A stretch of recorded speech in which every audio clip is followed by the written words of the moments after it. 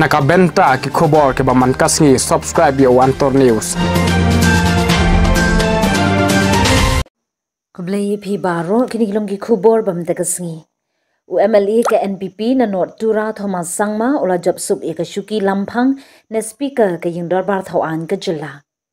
Ya ka te ka shuki lamphang u Thomas Sangma ola shimti men ka sngi pale da ka ba job sup na mar ka jingbam don ki nongyele prasha na ka kin hun yang prasha u Thomas ula thep kerteng kum ukertong sha ka election ha ka sngi ba ar ya ka kerteng jong u la terwa de ikong empri ning do bat umar than sangma na ka npp bat uba polling do bat ba meryl bonds im na ka udp namar ka jingbam don ki wei par ki bat hep kerteng kum ki kertong.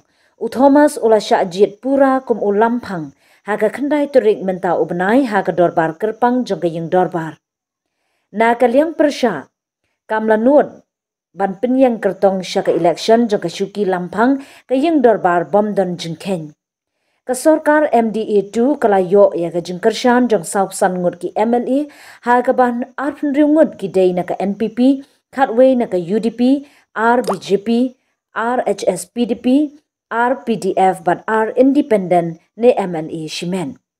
Kaliang persya akadantang khat saungut ki MLA bakentup ya sanungut ke Kongres, sangut naka All India Trinamool Congress bat saungut naka Voice of the People Party. Hadian ke jingyo lampang temai naka liang kinong tauan ki bala syak jit da upat ba ki la pensngo ya ke jing syania skem ha u lampang bala jit ba unak ban pentelun ya ke dorbar klem jing syak shiliang.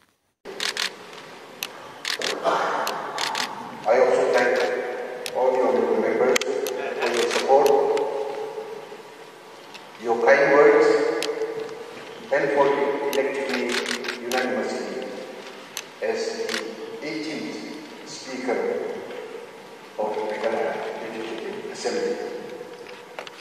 It is with great humility and with deep sense of honor I take this chair as Speaker of this Legislative Assembly.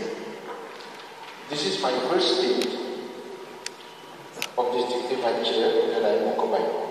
I have no hesitation to say that today I am indeed very proud that I could gain the confidence and trust of all the members of this august house. Uh, in reply to what the epistle Paul, I would say, of this house uh, on this occasion, I also remind each one of us of the legendary reply of Speaker Lenthall of British House of Commons in the mid-60s when the House of Commons was attached by King Charles I. Asserting the privilege of Parliament, the Speaker said to the King, May it please your Majesty, I have neither eyes to see no tongue to speak in this, in this place. But as this house is pleased to direct me, whose servant I am. As Speaker, I want to express my sincerest appreciation, appreciation to every of you for the confidence you have placed in me and for the great responsibility that have been entrusted to me. I wish